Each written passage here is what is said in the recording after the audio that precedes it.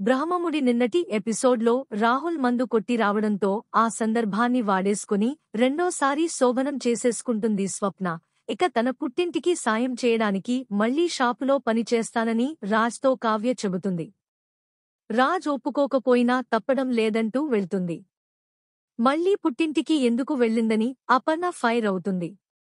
ఇక ఈరోజు రాత్రి ప్రసారం కాబోయే ఎపిసోడ్లో కావ్య మట్టి తొక్కుతూ పనిచేస్తున్నదాన్ని వీడియో తీసి మీడియాలో వేయిస్తాడు రాహుల్. ఇక ఇంట్లో కథంతా రుద్రాణి నడిపిస్తుంది. అందరికీ టీవీలో ఆ న్యూస్ చూపించి కావ్యపైన నిందలు వేస్తుంది. ఇంకేముంది? అపర్ణ అంతా నమ్మేసి కావ్య వచ్చిన తర్వాత పెద్ద పంచాయతీ పెడుతుంది.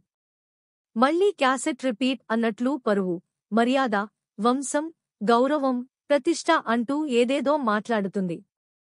దీనికి కావ్య కూడా గట్టిగానే సమాధానమిస్తుంది. కాని రాజ్ మాత్రం కావ్యను తప్పుబడతాడు. నువ్వు చేసింది తప్పేనంటూ ఫైర్ అవుతాడు.